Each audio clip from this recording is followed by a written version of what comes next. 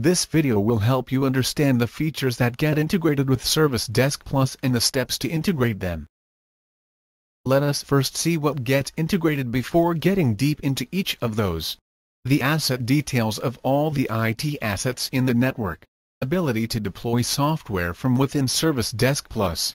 User requests gets created as tickets in the Help Desk application. A unified web console of both Service Desk and Desktop Central. Let us first understand how asset integration works. The Desktop Central agents residing in the client computers will collect the asset information and updates it to the Desktop Central server, which then updates the Service Desk Plus server. Now, what it takes to integrate IT asset data with Service Desk Plus. You should be running both Service Desk Plus and Desktop Central in your network. Desktop Central build number should be 70017 or above. The Service Desk Plus build number should be 7601 or above and you should be running the Professional Edition. To set up the Asset Data Integration, you have to configure the Service Desk Plus settings in Desktop Central. Click the Admin tab and select Service Desk Plus settings from the left pane. In the configuration screen, Select the Enable Service Desk Plus integration checkbox and provide the host name and port where the Service Desk Plus is installed. Select the IT Asset Data checkbox available under Features to integrate and click Save. Subsequently, whenever the asset data is updated in Desktop Central, it is automatically updated in Service Desk Plus server. Let us first understand the workflow of deploying software from Service Desk Plus. The Desktop Central Administrator first creates the packages of all the software that can be deployed in the network. The package information is updated in Service Desk Plus periodically. Now, when a help desk technician receives a software deployment request, they can select the Install and Install Software option from the Actions menu, choose the software to be deployed and the computers to which they have to be installed and save.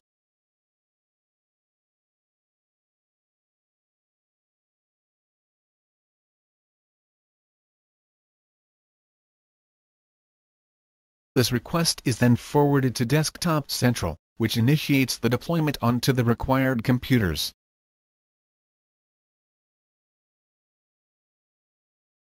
The agent sends back the status of the deployment to Desktop Central server which in turn updates the Service Desk Plus server.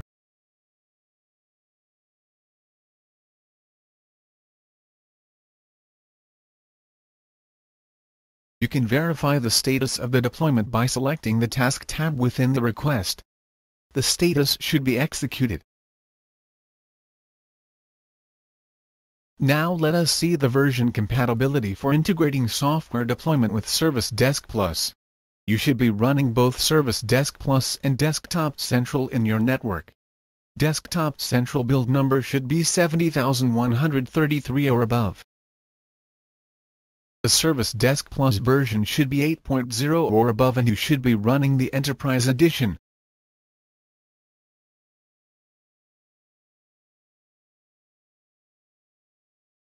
In Service Desk Plus, you will first create a user role that has permissions to install and uninstall software.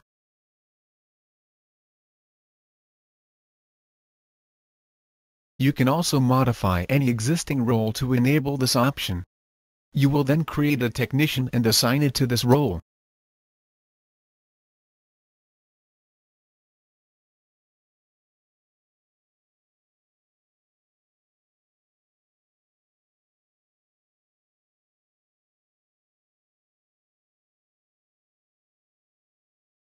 Generate the key and copy it to a text editor and save the technician. It is preferable to generate the key without an expiry date or you have to update it as and when it expires. The next thing you do is to configure the desktop central settings in Service Desk Plus by providing the hostname and the port number where Desktop Central Server is installed. Then you have to configure the service catalogs to enable the Install and Install Software option in the Actions column. Select a catalog and click the Workflow tab. Select the Display Software Install and Install option in Service Request Actions menu and save. You will have to update all the templates that require this option in the Actions menu. Now, configure the Service Desk Plus settings in Desktop Central by enabling the software deployment option available under the Features to integrate. When you enable this option, you will see the authentication key field is enabled. Copy and paste the key that you generated in Service Desk Plus and save. Now, the package information from Desktop Central will periodically get updated in Service Desk Plus and the technicians will be able to initiate software deployment from Service Desk Plus. Let us first understand how auto-ticketing works. Desktop Central allows the users to submit help desk requires from the Desktop Central icon in the system tray. When a user submit a request, it first reached the Desktop Central server. The Desktop Central server processes the request and sends it to Service Desk Plus server for creating a ticket.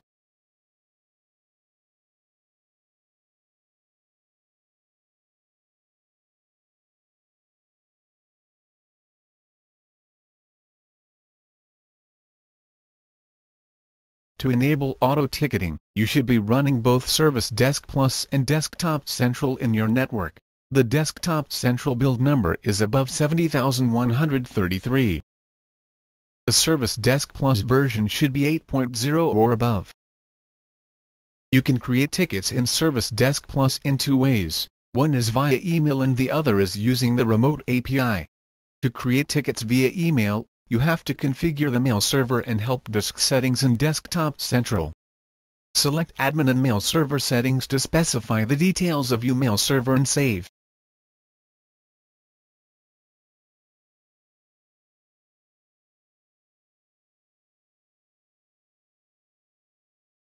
Select the Help Desk settings and select Enable Help Desk settings option and specify the email address to which the request have to be sent. You can also update the templates for these user requests from the Tickets tab.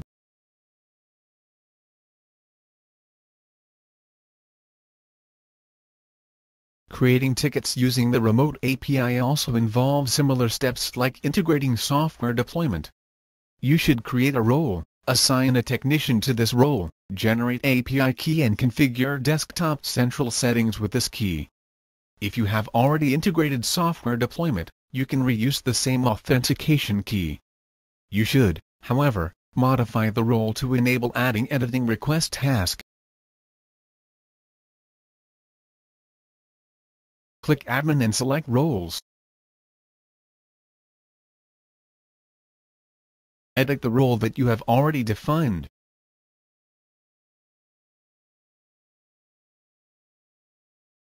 Enable adding editing request task for this role and click Save.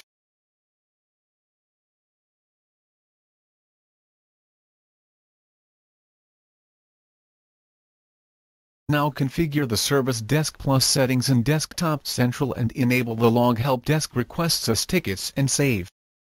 You do not require to specify the authentication key again. You have now enabled auto-ticketing in Service Desk Plus. If you have not integrated software deployment before, you would have to create a new role, assign a technician to this role and generate the API key that you can use it in Desktop Central settings.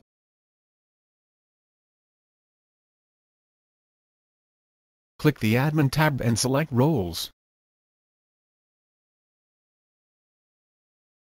In Service Desk Plus, you will first create a user role that has permissions to adding editing request task. You can also modify any existing role to enable this option. You will then create a technician and assign it to this role.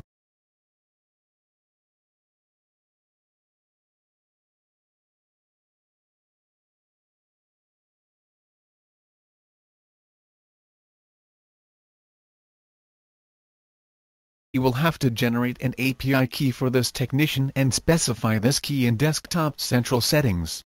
Generate the key and copy it to a text editor and save the technician. It is preferable to generate the key without an expiry date or you have to update it as and when it expires. In Desktop Central, select Admin and Service Desk Plus Settings.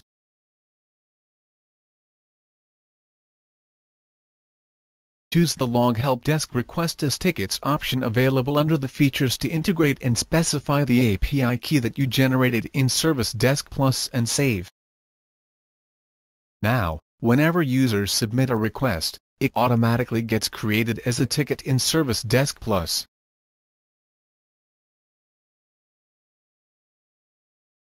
Having a unified console of both the applications is advantageous in many ways. You do not have to log into multiple clients for different activities. A single technician can handle both Level 1 and Level 2 support. You can restrict users having access to desktop management. Service Desk Plus will be the single console that you would need to access for both help desk and desktop management functions. The console will communicate with both the applications and provide you with a desktop management menu from where you can perform all desktop management functions like patch management, software deployment, and so on.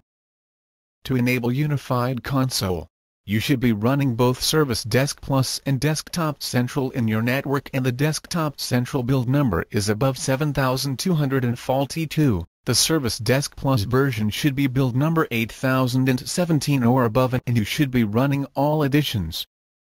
To set up Unified Console, you will have to configure the Desktop Central settings in Service Desk Plus, select Admin and choose Desktop Central Server Settings.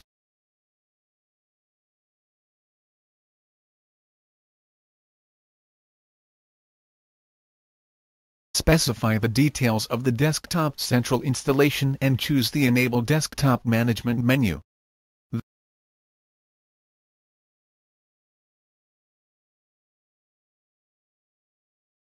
You have to specify which technicians should have this menu enabled.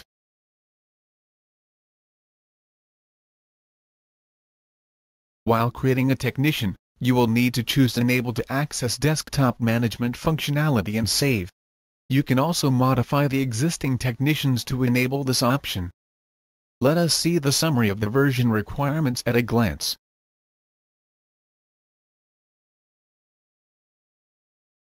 To summarize, we have seen the how and what features of Desktop Central gets integrated to Service Desk Plus and the steps to set them up. For more details, visit our website